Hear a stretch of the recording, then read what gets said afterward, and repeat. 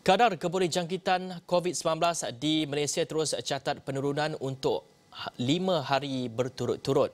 Pada Rabu, ia susut ke 1.09 berbanding 1.12 hari sebelumnya.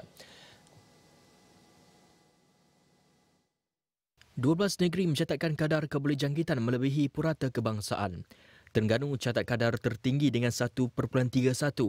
Diikuti Kedah, Sabah, Pulau Pinang, Johor dan Pahang. Putrajaya dan Kelantan masing-masing dengan 1.18 manakala negeri lain yang lepasi purata kebangsaan Selangor, Perak, Negeri Sembilan dan Melaka. Negeri di bawah purata kebangsaan adalah Kuala Lumpur, Sarawak dan Labuan. Sementara Perlis rekodkan dua kes baru. Kadar kebolehjangkitan terendah yang pernah direkodkan tahun ini adalah 0.81 pada 3 Mac lalu. Manakala yang tertinggi dicatatkan ialah 1.21 pada 23 Mei. Nilai Arnold merujuk kepada tahap kebolehjangkitan sesuatu virus iaitu berapa ramai individu yang boleh dijangkiti oleh satu kes positif.